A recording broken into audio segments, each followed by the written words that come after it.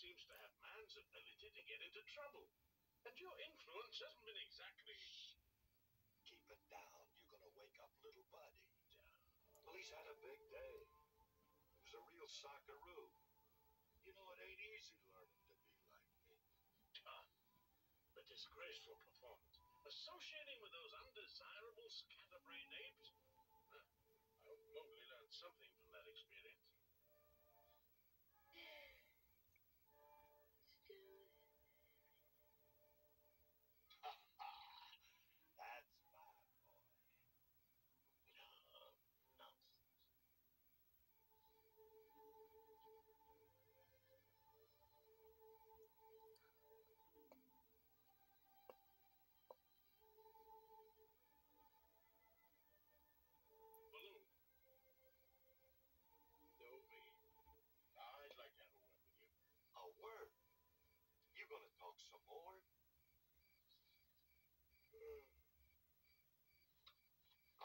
what's up, Bagheera? Baloo. The man cub must go back to the man village. The jungle is not the place for him. I grew up in the jungle. Take a look at me. Yes. Just look at yourself. Look at that eye. Yeah. It's beautiful, ain't it? Frankly, you're a disreputable sight. Well, you don't look exactly like a basket of fruit yourself.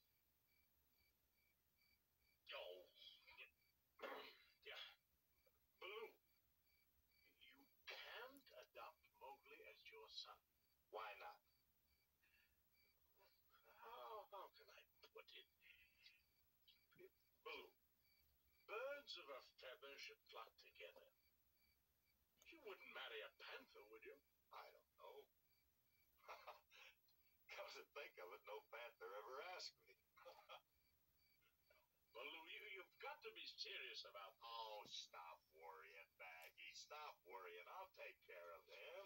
Yes, like you did when the monkeys kidnapped him, huh? Can a guy make one mistake? Not in the jungle. And another thing. Sooner or later, Mowgli will meet Shere Khan. The tiger? What's he got against the kid? Hates man with a vengeance. You know that. Because he fears man's gun and man's fire. But little Mowgli don't have those things. Shere Khan won't wait until he does. He'll get Mowgli while he's young and helpless. Just one swipe and Well, well, what are we gonna do? We'll do what's best for the boy. You better believe it. You name it and I'll do it.